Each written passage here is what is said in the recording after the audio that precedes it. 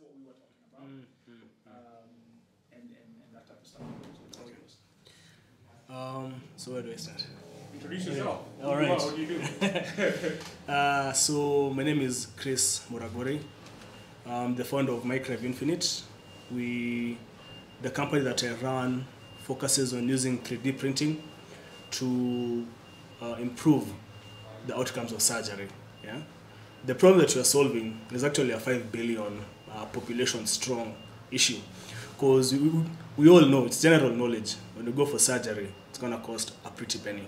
Yeah, and if you consider that. Uh, a very, very small percentage of the population is insured, it becomes now a situation. So, what are we trying to solve? How are we trying to solve it? Uh, we've been able to observe that the main variable uh, or the modifiable variable in surgery is time. So, a surgery that takes longer is more expensive. The wound is exposed for longer. Uh, the operation is definitely more complex, so the recovery time is longer. And if you look at the costs on the hospital, the anesthesia, overhead costs, the theater itself is real estate, there's cost to that. On the patient, uh, healing, if it takes, I mean, uh, if, if, if, you've have, if, you've, if you've broken a limb, you know it takes at least six weeks to have the cast. So if you have a, cast going from the hip all the way to the ankle, you are pretty much sunk for the next three months. Yeah. So that is a cost. So the, the question that you're asking is how could we be able to impact that? How can we be able to reduce that? So what you do is uh, if you strategically use 3D printing, you are able to impact it. And this is how. Say someone has come in with um, a defect or a trauma, tumor, whatever, and they need to get fixed. So what you're able to do at the very basic level, you're able to take the patient's data uh, and then you create 3D models, patient-specific models of the same that are one-to-one. And then the surgeon, before they go into theater, they already have the model. They can plan the surgery. They can see where the defect is. They can they can communicate with the patient. If there are implants to be prepared, they can be prepared before surgery. If there are bone grafts to be harvested, the measurements can be taken before surgery, so that when they go in, they already have the data. And they go in, they open up the patient, do the resection, reconstruct, the outcome is improved. On average, we've been saving at least uh, 25% of the theater time, and that is significant. Considering we have a surgery taking 10 hours, 25% of that, you do the math. And if you look at hospitals that charge uh, a certain fee per minute, you now start seeing the, the figures now, the impact of that. The other level which we are now getting into is um, it's, a, it's, it's, one level below tissue printing where it's called now, we're printing now what is called biocompatible, biodegradable implants. So we print lattices made of a very special polymer. It's actually the same, rather it's similar to the same compound that uh, is used by women in uh, the, the contraceptive that- that's injected into them. Yeah? So what happens is we're able to print out a lattice with it, like the way we're building in a building those uh, iron rods, and then you pour cement inside. So if you print out the lattice, it can be able to be implanted, rather fixed, where there's missing bone, and then bone will regrow on it. So the end result of that implant is in three years' time, rather over three years, it will slowly biodegrade through a certain uh, biochemical process called the TCA cycle. If you remember biology, where glucose comes in and then we get ATP plus water.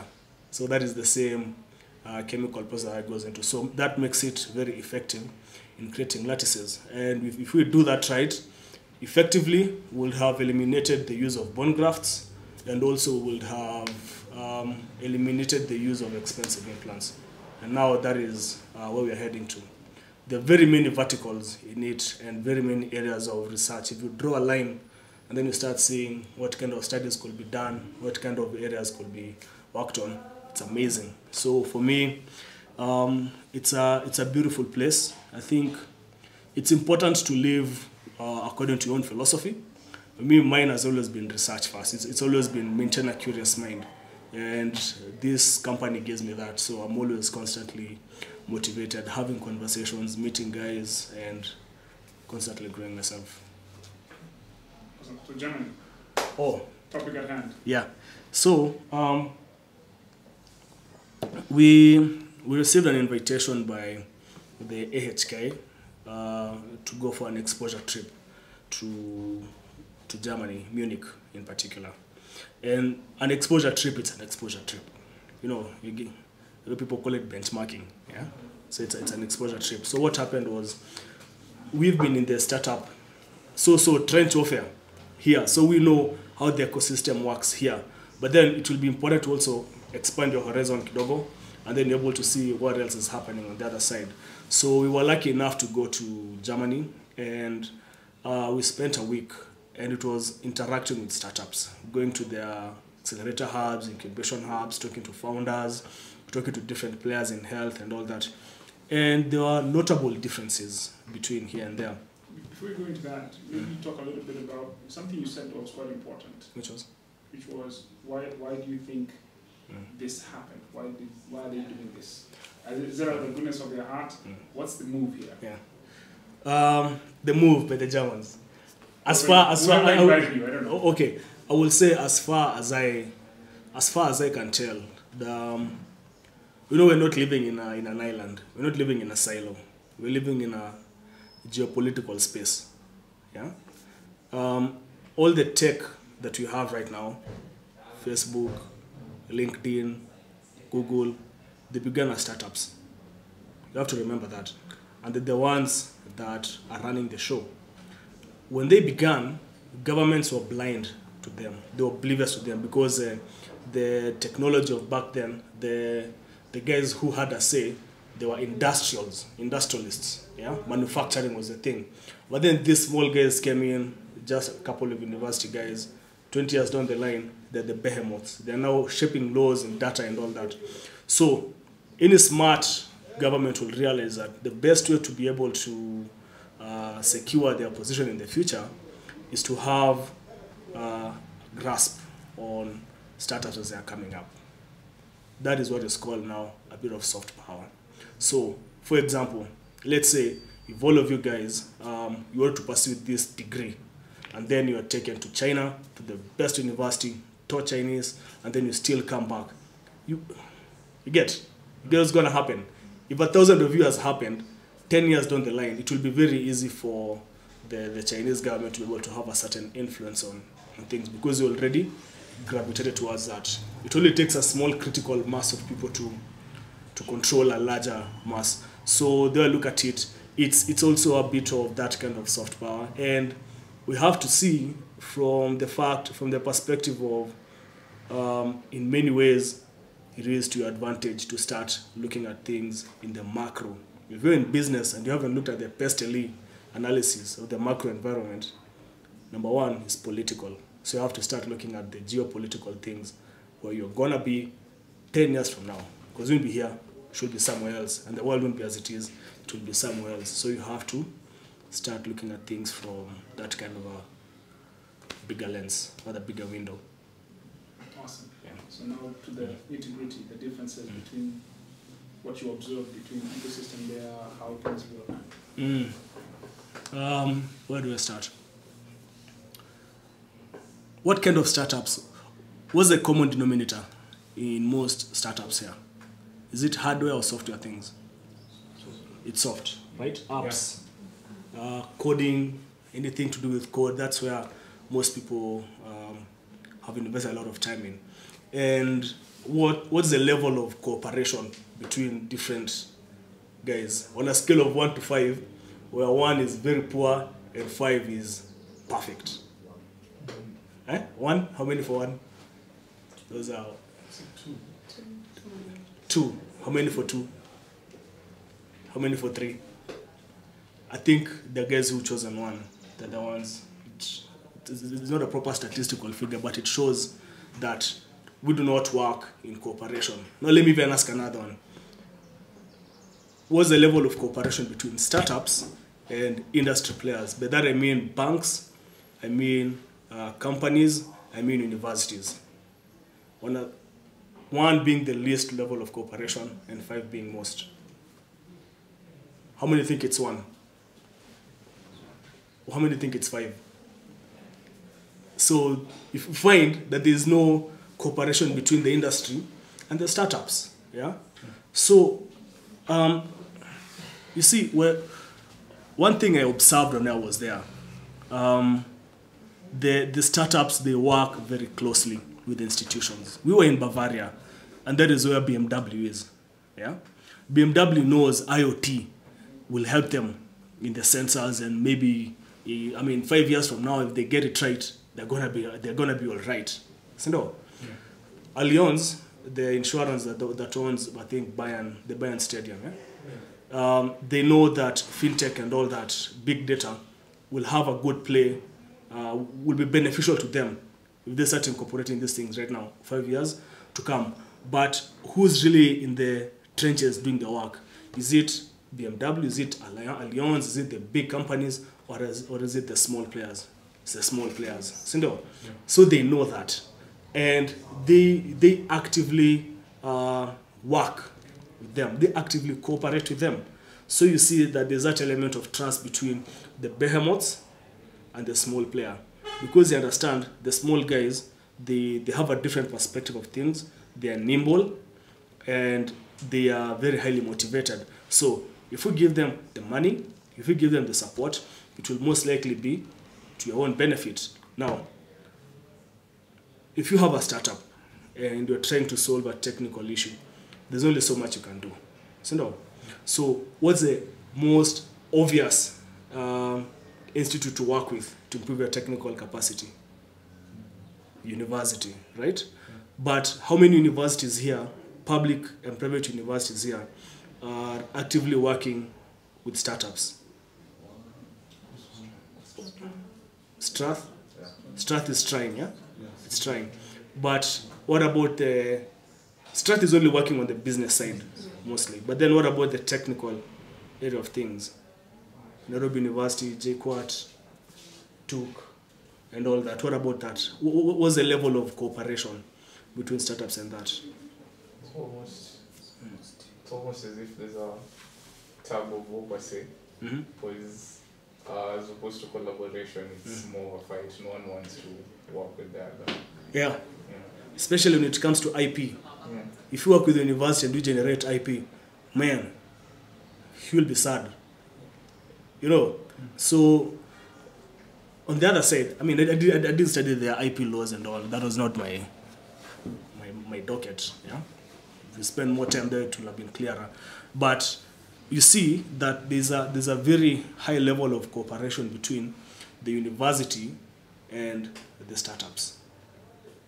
And what is the impact of that? Let's say, for example, you're building um, an app in, not even an app, let's say you're building a hardware product and you do not know about the mechanics.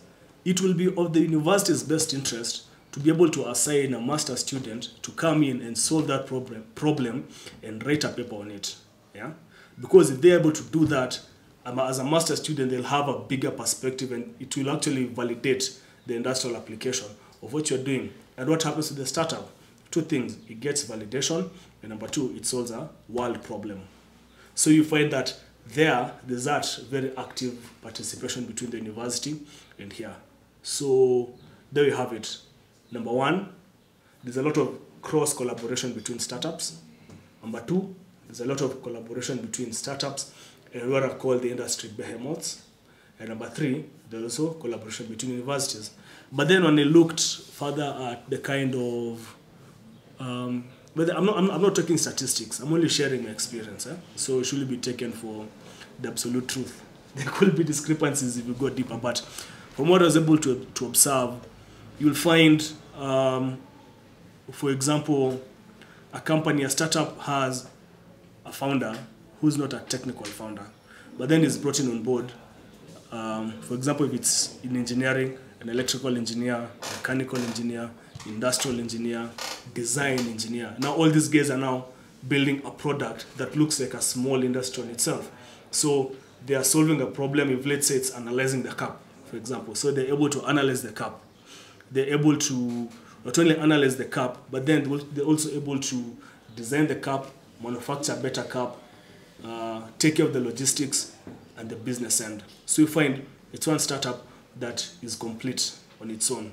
But then here, there's a lot of wrangles. I think I've seen uh, from from um, companies trying to come up. It's a it's a founder who wants to be seen and wants to take the limelight. And if anybody challenges the limelight, it's done. It's war. Gloves gloves are off. However, um, the the last thing that, that that I saw was the approach to market, which I think is very important, because here, here I'm not talking about uh, e e things or rather soft software app startups, talk about hardware hardcore things. Yeah, you find that a significant, rather the larger portion of the revenue comes from export. You have to really realize that. Yeah, all of us here tunasema pesa is only, but it's only here. yeah, if you go, if, if you export things to China, if you have even if it's a even if you have a fancy cup that is made of bamboo, you won't sell it here. You'll sell it maybe in China or somewhere else. Yeah, but I, I, I haven't seen many startups here that are really focusing on, on, on export. And here's the thing there's a, there's a company called Mauer in Bavaria. They sell hangers, cloth hangers, and they have a revenue of 1.2 billion euros selling hangers. 90% of their revenue is export. Makes sense. You should now start thinking about if you're, if, you're going to start a company, don't solve a problem that is relevant here, but it also has a global uh, footing. And then if you do that, you, you increase your chances of succeeding.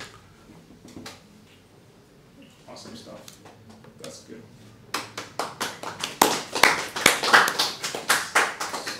Questions for the man?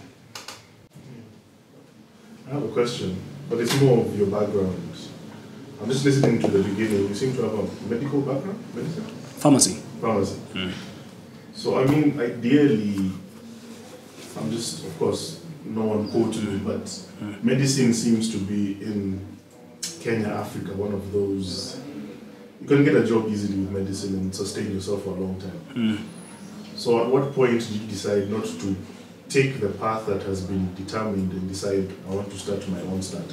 What was that? We'll call it eureka moment that made you switch and say, you know what? I don't want to do this thing that everyone does. Let me do my own thing. Um, Yeah. the, the thing that made it take a leap was I began asking myself questions like, um, how come I've never seen a pharmacist practicing 10 years down the line? Can see an engineer, can see an engineer, civil engineer, you can see he's building a road with a helmet and the highways and what have you. But, uh, but, it- but, but it started becoming apparent that um, the course that I was in, it there are two ways it could go. Either I go into academia or I open up a chemist. But then, man, that thing is difficult. If, if you, I mean, if you see the kind of uh, difficulty it is to grasp the dynamics in drugs and all that, it's incredible. But then now, if you're told that the the limits of where you can go here in Kenya is to open up a shop, you will be very sad very quickly. yeah, that, that- that's the truth. So, um, and then also at that time, I was having my own challenges in. All of us normally struggle with the questions of, um, what am I supposed to be doing? You know, that's a age-old question. What next for me? What am I supposed to be doing? So I was asking myself a lot of those questions in uni. And then there was this particular day when I realized that uh, after my first startup failed, and then now was now slowly working on 3D printing, I realized that wait, this is I'm more I'm getting more satisfaction from this. If I focus the next five years in 3D printing, and if I say focus the next five years in academia, then the, it's pretty clear where I'll be, where I'll have more gratification. So I took the risk and then I, I jumped into 3D printing. Yeah. And entrepreneurship. Yeah. But it was tough, eh? Let's talk about that. So, Yeah. yeah. startup, toughness, experience. What's been the experience? On the, on, the, on, the, on the person or on the startup? Uh, Which one would you like to hear? You'd like to hear both? Um, sawa. I, I mean, it's, it, it, it, it, it, it will be meshed yeah, because one is the product of the other. Yeah. Um, when I began the when I began my crib, um, it's actually it actually has the name of my previous failed startup. So because when I began the new product line, I didn't have money to go for to register new company. So, so, so I said I have I have I have actually at that time it was it was a sole proprietorship. So I remember I remember I, I, I was with my buddy. Um, he's he's a very close buddy of mine. It's called Ransom. So you remember the day that Boniface Mwangi went to Parliament with the MPs, Pigs with yeah. blood and all that. That was the day I registered my company. Because I remember we went uh, down Parliament Road, and then we saw a pig in the middle of town, and we were wondering, wait, that is off. What's a pig doing here? Anyway, so um, when I began my career, I had nothing. Yeah, I had, I had nothing. I didn't have a comp.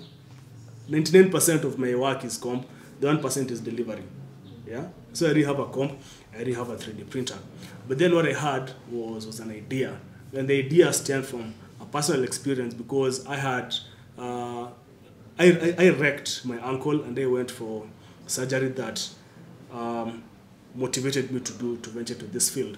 So when I began, I was I was first of all at a loss because number one, this one now it, it now becomes personal because all along I was seen, I was known as a good student, and I was going to be called a doctor, Doctor Muraguri. Man, that thing is a nice feeling to imagine yourself being called that. But then now here I am, uh, I've abandoned that course. So the question becomes, now, who am I? You get, who am I? Without all the pomp, all my identity has always been pegged to. I've never been a top performer. I've never been number one. I think I was number one in class three once. yeah, yeah that, that- that was the time. I was always the guy. Apo, remember when I said top 10 kwa class, but then kwa stream huko page 50, eh, number 50, 68. I was in that 68. I mean, I was I wasn't a stellar student. I'm, I, sir, I was I wasn't. Hadi mimi ulikuwa mama? I was I was I was I wasn't I wasn't like the top top student, but but, the thing was, uh, I've never been lazy. You have to get that. I've never been lazy. Um, I've never been soft. Yeah. So these are some of the things that, that I was able to carry. Now here here I was, no identity. So who is now Chris? Sasa, you have to now model yourself anew. Yeah? Now you have to struggle with telling people, no, I abandoned pharmacy to pursue this. So now you start getting doubts. Back at home, your dad is, man, this guy, he had everything lined up, but then now he's taken this. Everybody is now confused. You know, it takes a kind of a toll on you, but then you really have to focus on why did I do it? And then you now just focus on it. Utakam realize that um, the more you focus on things, there's a, there's, a, there's a lesson that my dad taught me when we moved to our new place and as a small boy. He told me that before you get to this new place, you have friends waiting for you there. Even if you don't, you have friends waiting for you. So that was to tell me that it's okay to abandon, uh, to move. Moving is okay. So that was like the motivation. So I was able to transit from uh, that academia student to now an entrepreneur. It's like you're standing naked in front of everyone, in front of yourself. So I was very, very fortunate that at that time was when Gearbox Light began operating there at uh, Bishop Magua, second floor. Uh, and, I, and I went and I spoke to Dr. Kamau Gachigi, and I told him, uh, Doc, this is what I want to do. This is this is the thing that I have, and uh, I need your help to help me get it right. So he he, he allowed me to use the space for, for a few months working on the 3 I didn't even use the 3D printers. They, I was, the thing that I was giving in exchange was because I knew chemistry, I was able to prepare the reagents to clean up their PCB thingies. Eh? So that was now the thing that I was giving in exchange. So I was there, I was seeing the 3D printers, I was learning the software that I was supposed to be using for my work. And then in time now, uh, I realized that I needed my own computer. I didn't have a comp, yeah? And another time I was staying in my own KSQ that was like ukitoka kwa kwa bed kwa bafu if you cook in the house, it becomes a sauna, steam bath. Eh? you know, so so um, your time, I used to I used to call my cousin. He was working in town, Chancery. So I used to tell him, he's called Herman, I love him. So I used to tell him, uh, and said his comp at night. I learn, and then in the morning, and then I go, I'm going to go and drop it. So that was how I was learning. You get? Because if you're motivated enough, everything becomes an opportunity. You have to really understand. Say that again, please. If, if you're motivated enough, everything becomes an opportunity. Like it's it's it's really hard to to tell you the gravity or the truth in that until you are in it. Yeah. So uh, eventually, I was able to to get a small grant where I bought my own 3D printer and my own laptop. But then, where will I place the 3D printer? Place in my own house. I was living in an SQ. Nilikuwa nimekaa hapo kwa kwa wardrobe. So all my clothes I used to fold them, put in a bag, and I put under my bed because now the wardrobe was now my office. Where so I, I do the work and then I feed it and the machine runs. After a few hours, I go and deliver the model. So that has always been the case. You move from strength to strength, pole pole. Um, initially, it was this there's this thing that that you have to realize if, if you want to to pursue your own thing. There's a there'll be um, an episode in your life where loneliness will be a friend. No not, not isolation not loneliness isolation will be a friend. Because that is the only time we'll be able to dig in deep and really do two things. You'll be able to master yourself and master your vision because when you're alone in your own house at uh, 6 p.m.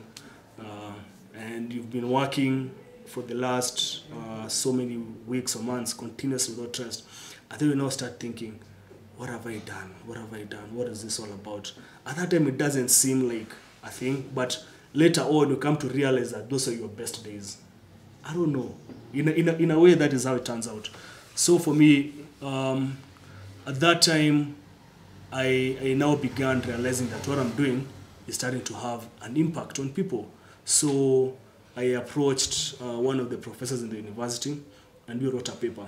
Now, here's a dilemma. Um, I've put my academia on break and I've approached the Department of Oral and Maxillofacial Surgery. It's, you know, it's like, it's like um, you suddenly, you, you've never been to the gym. And then suddenly you umeenda umepatiwa weights. The heaviest weights and you have to lift. You have to if you're told you do it. Or if you put your mind to it? So here I was and I wrote the paper and it got published. So that was the, the first publication that, that I ever had. And now that really started making people get start to notice that I'm doing something. But then at the same time you also start getting a little bit of confidence. Yeah? You're getting a little bit that hey I can do this you start doing even more. I can do this, I can do more. Your vision was this, so you realize that uh, what I think I could, but then suddenly what I think I can do is slightly bigger. And then you do a big thing, and then it becomes bigger. Another big thing becomes even bigger. Now, that has been my personal journey. Uh, uh, right now, you it gets to a point where hauna wasiwasi you're cool, you're collected. The the you know if you're undecided, uh, being is it called indecision? Yeah, indecision. Indecisive. Yeah, indecisive. Thanks. Indecisive is expensive. If you haven't made up your mind, you'll be like um, you'll be like an atom oscillating in the same place, but you're not really achieving much. But the moment you decide on a particular way, you have to really focus on it and you have to go the distance. You don't fika katikati and then you look and then you say maybe or maybe and then you start chasing the shiny things all the time. You will never move. Uh, in life, you have to chase a few things and you have to make sure those things that you're chasing they resonate with who you are. So for me, um, I began working on Micrive, but then Micrive began working on me. So that at the end of the day, you end up in a place where you are more or less more insightful and you are more confident in the outlook in life. And I think it's important. It doesn't have you don't have to do a startup. You just have to do a thing. even if it's a thing. You get what I'm saying? For me, it- for me, it was make everybody can see, but the the more personal one is I realize that you just have to do a thing and you make sure you've done it well. Even if you could mop floors, go and mop the floor, or mop it in such a way. Even if the angels are in heaven, are like, Jesus, that guy has mopped it. You get it? Yeah. So. Mm. Questions? Actually, I have a question. It's really interesting you talk about like the startups in Kenya, software based, Yep. mostly, not really hardware. Mm. But the interesting part is engineers and let's say, okay, let's just go back a bit. So if you look at certain professions like engineering, there's the engineering board, pharmacy, there's the pharmacy board. Mm-hmm. So there's this kind of click gatekeepers of those professions. So I go back now to my question. So you find that these people, let's say in third year, fourth year, they're doing projects, they've built mm. something, you know, they're doing something, but by fifth year, mm. they've clicked back, oh, I want to work at Kenha, I want to just do this. At what point, uh, what do you think should change, especially in engineering, pharmacy, and medicine, hmm. to just get these people from that thinking of, I want to be, you know, a, a doctor, I just work in this hospital, I don't want to like start something and really pursue a certain thing. Because if you look at software, the good thing is that the, the meetups, people just share stuff and all these things. But in It's very engineering, informal. yeah, in engineering you don't meet civil engineers sitting down and let's try and experiment. Let's build a new type of tarmac. Yeah, they don't Yeah. do that. So what's your perspective on that? Um, look, what's the average age that people go to school? They begin school. At what age? Three years, four years? Yeah. Me, me nilianza nikiwa four. Yeah. So, um, and then you graduate at what age? 24? 22, 23. Yeah. My co-founder spent six years, seven years in uni. Mandela, doing medicine. Mandela. Yeah, seven years. Seven years. He took a break to to pursue his own startup. Um, so here's the thing: you spent 20 years in school, and what does the school have? It has structure. You get. It has rows and columns, and it has a schedule. It has an eight to five. It has uh, a systematic and um, self-validating system. Yeah, you've done that for 20 years. It will take a miracle to break through that mentally. You get? So when you're in uni, you are dreamy. Think about the big things. Because all of a sudden you umepata a degree of freedom. Yeah? That you don't have you don't have to be in class at 10. Or rather 8 to 5. You can be a class at 10, a class at, so you get a bit of flexibility.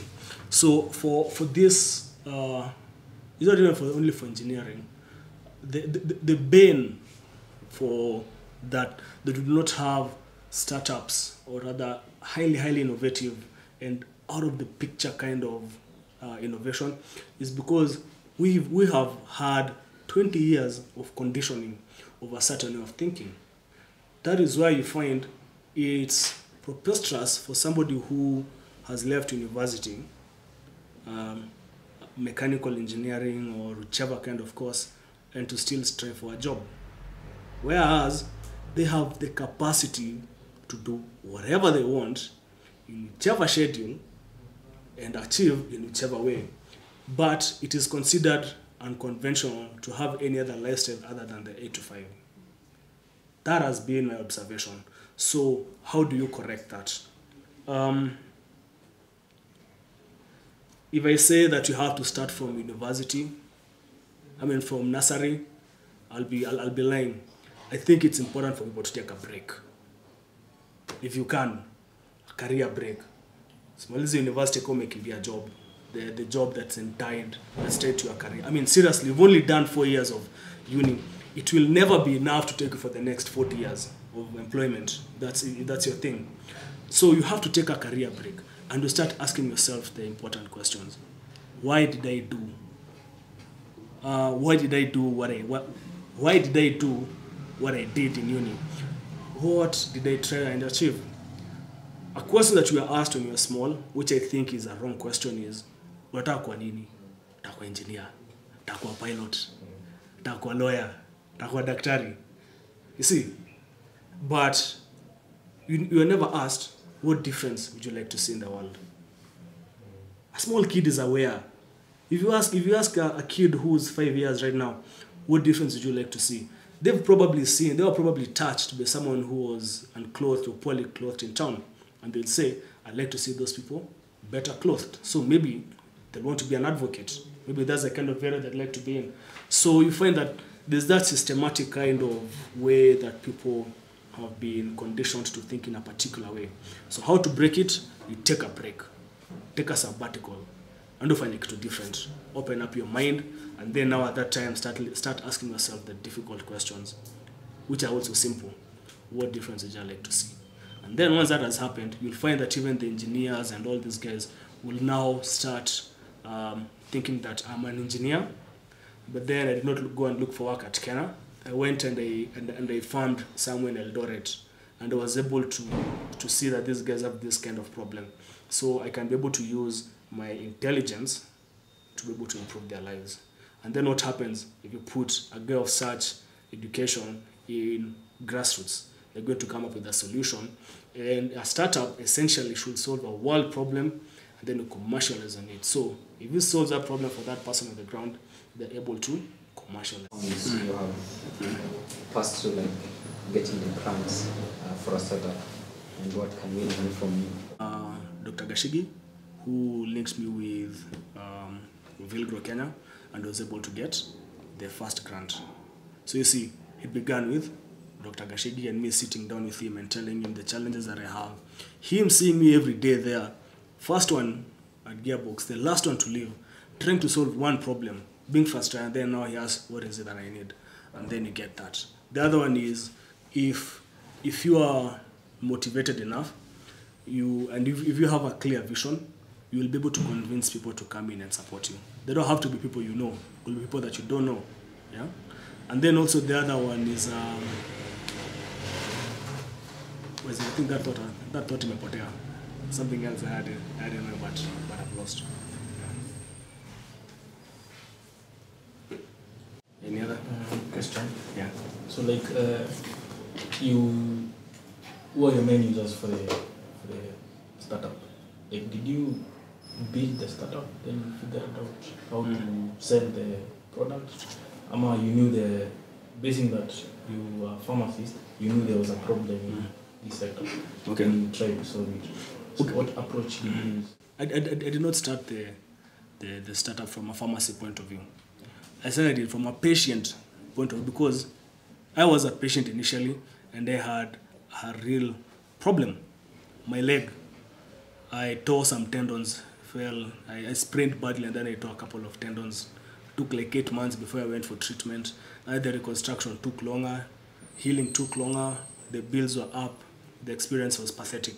So I began from that perspective. And the, the lesson that I had learned, my previous startup, I began it in a silo and then was hoping that, man, I have such a good product, the market will readily love it. Shock on me, uh, it collapsed. So this one I began with the users.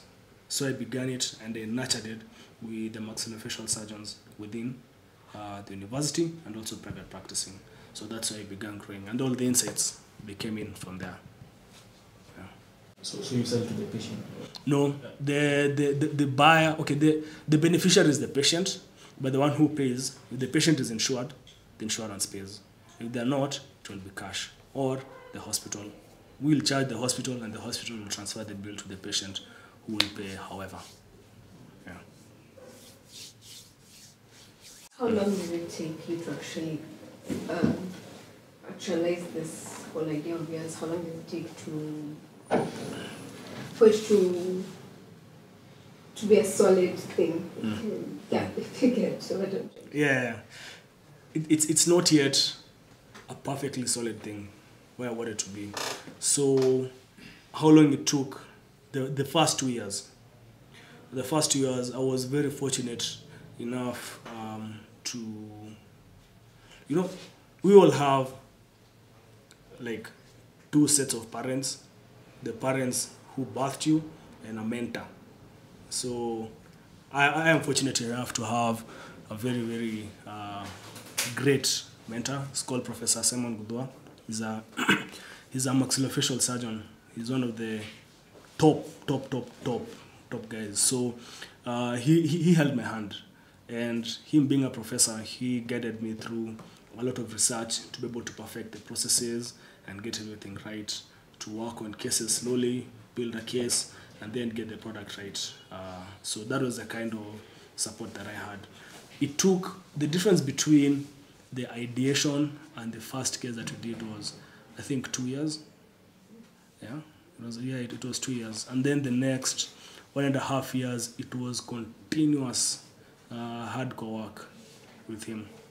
Yeah, until last year when the mentorship ended and he told me now the bird can leave the nest in which it after yeah, that's when we began now uh, hitting the industry. Did you give up like a point in so Mm. But would they give up? Did I? I didn't. I didn't give up. Let me tell you why I didn't give up. You you need to have um, you need to have a certain kind of there's a support system that you need, and there's also the character that you have to have. And the, the kind of character that you have to have is you need to be very tenacious you need to really hold on to something, but then you also use your head. You'll be holding on to the wrong thing. Yeah? But if you're holding holding on to the wrong thing is if you are still doing something that is dead and everything if, if, if you just take one step back you can see it's dead, but unakuwa hard headed. I'm not saying you be hard headed, saying don't quit. Yeah? But if you're going to quit, quit while you are ahead. It, it, it's no shame to say that this thing collapsed and I'm gonna give up on it. My first startup collapsed and I gave up on it, but I learned, and then I visit on this. In terms of um, support system, um, my fiance has been very very supportive the whole the whole journey. So there are days when um, things were like, you know, when you're really doing something by yourself and nobody's really understanding where you're going, you need at least one person who will tell you, Sijali, still awesome. Yeah. If if you're told that, it takes you like three weeks. Until the next. Until the next one. Yeah, yeah, exactly, exactly. So, um, uh, but, the, but the, it's true. Let me tell you, the, the, informal thing that you'll never be told is you need correct life partner. Why as kid?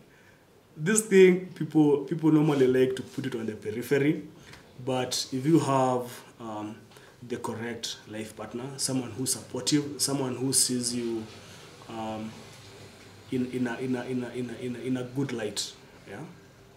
in the correct light of yourself, that's the kind of person who will bring you up. Uh, the other support system, of course, has been um, the, the hubs. You have who fear about to fail. Uh, on your side, how do you define failing? Is it a, is it a success to you, or do you love it, or do you hate it failing? If you fail in character, you failed. If you fail in reason, you failed.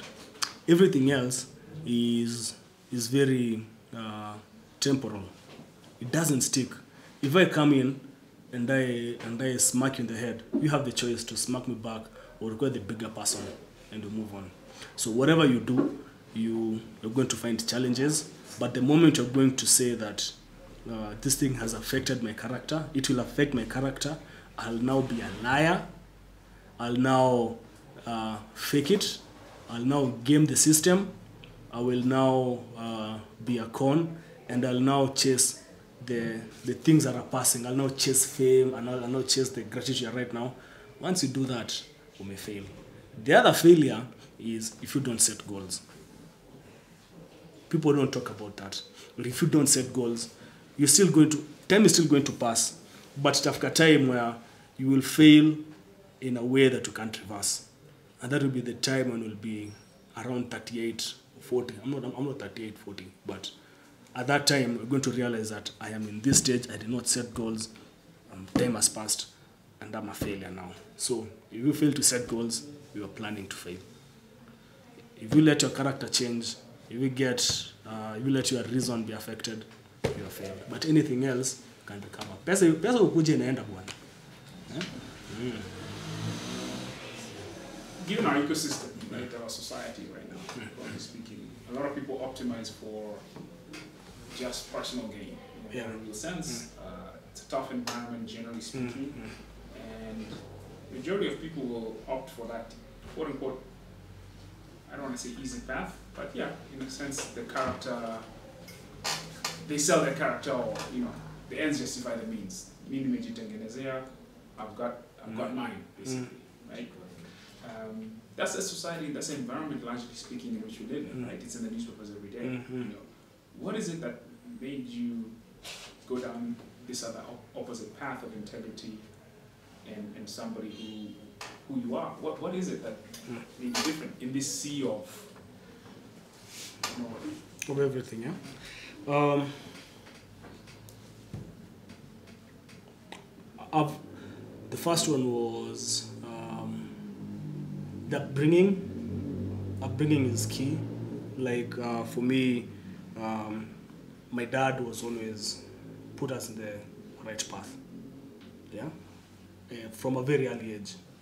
So it's very hard for me to to lie or steal or do things. As in, like it really goes very much against the the things that I believe in. So it will take a really it, it really has to be like life or death. You get that's justified. But then also the other thing is accountability. You have to have a mentor. And you have to have a mentor who represents the values that you're looking, not where they are in life.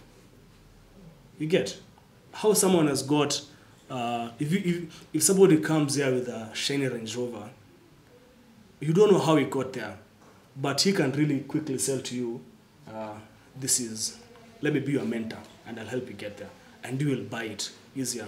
But if you look for someone who has the values that you seek, yeah, people learn through infusion. You're going to get that character from that person.